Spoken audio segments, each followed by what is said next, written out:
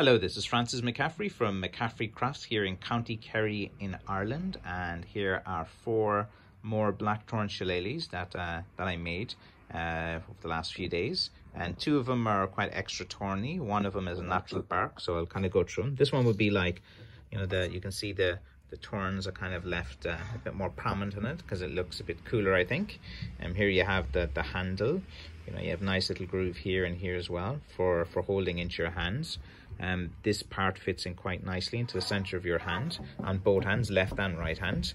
Um, here we have a kind of natural bark type of handle as well where the thorns have been kind of filed down so you can see where all the the thorns used to be as well.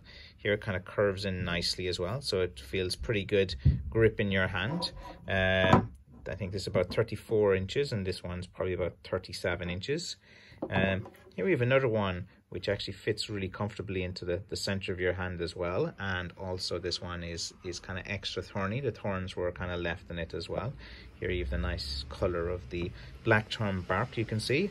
And finally, this guy, he's about, uh, I think he's 330 grams. The heaviest of them is 36 and a half inches. I think that's about an inch thick there. Um, slightly bendy but as you can see very well balanced stick as well. You know the handle is is quite nice. It curves in right into the the kind of center of your hand and you have a pretty good grip on on that one as well.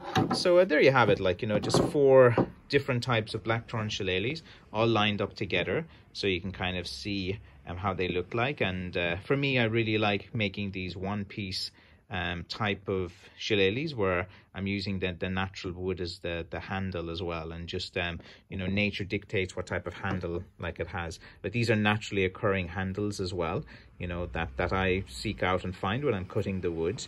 Um, all made from one piece. None of these are attached as you can see That's not an attached handle. Um, so these are all one piece blackthorn shillelaghs with naturally occurring handles as well.